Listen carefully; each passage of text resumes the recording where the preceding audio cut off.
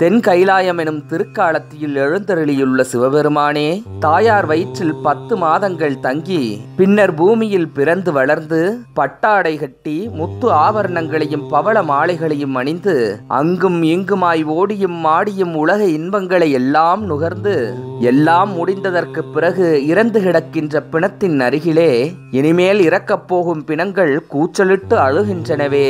இதன் காரணம் என்னவோ என வினவுகிறார் பட்டினத்து அடிகள். பாடல் பத்தும் புகுந்து பிறந்து வளர்ந்து பட்டாடை சுற்றி முத்தும் பவளமும் பூண்டு ஓடி ஆடி முடிந்த பின்பு செத்து கிடக்கும் பிணத்தருகே இனி சாம்பிணங்கள் கத்தும் கணக்கென்னகான் கைலாபுரி காலத்தியே.